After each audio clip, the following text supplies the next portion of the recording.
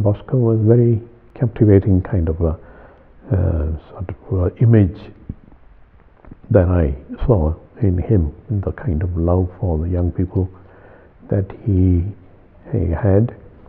Also, the preventive system, very much uh, not by using sticks and uh, yelling at young people that um, he believed in uh, in the development of a person, not through violence, but through uh, his method, what we called, uh, he called a preventive system of reason, religion, and loving kindness.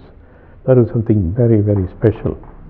Probably no one else in the world had uh, uh, brought up a system like that. Imagine he coming up with a system like that in, uh, in the 19th century. The rest of the clergy of those years, where uh, clergy was, oh no, a kind of on a platform, always, you know, the aristocratic way they lived and they were expected to be respected by the society and so forth. While this man uh, decided to quit all that and be on the street, meet the youngsters and kids on the street, uh, and in fact, uh, his uh, fellow priests in the diocese thought he is mad, really mad.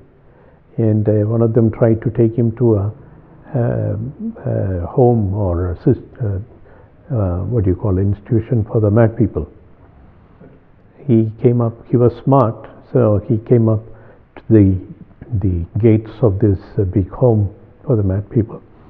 He jumped out and uh, the, told the man at the gates to take this man inside. So he was so, smart uh, to be able to do that. And then, of course, he came back and continued his work.